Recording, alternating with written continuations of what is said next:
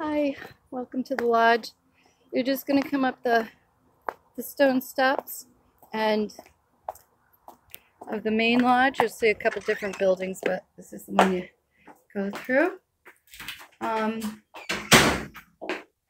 just come right on in and you'll go into the dining room. And um, I have a sign up here. The big room is over here, so just head over this way. Um, door to the big room is right through the dining room.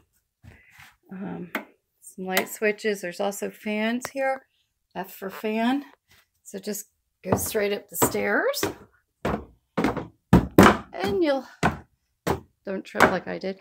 Um, here's the big room. And straight ahead, over near the fireplace, there's another door out to the little terrace.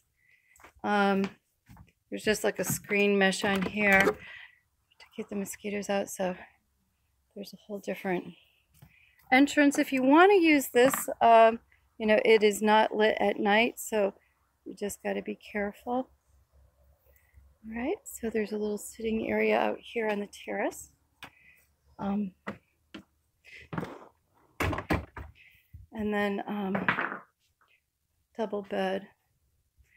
The windows are really big, so there are some drapes that you can pull if it's um, hot and sunny or for privacy or whatever you want.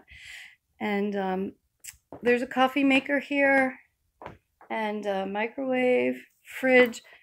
There's coffee. I put a little bottle of wine in there. There's creamer and some yogurts for you guys. I'm also going to put a little quiche in there for you. And um, so you'll be coming through this door. The top of the stairs, it's going to be a shared bath. Um, so you'll go right into here and um, through this little door on your left. And here's the little bathroom, okay? And you're going to be sharing it with these folks here. So if you do lock the doors, please unlock them when you when you leave so that they can get in and use it. So that's the, the little door here. All right, and um, again, if you need anything, want you to call me or text me. I'm here for you. Um, just let me know what you need, okay? Thanks so much. Bye.